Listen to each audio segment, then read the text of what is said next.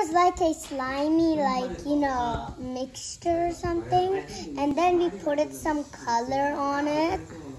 And then we put it, and then we put it um in the oven by mis misking.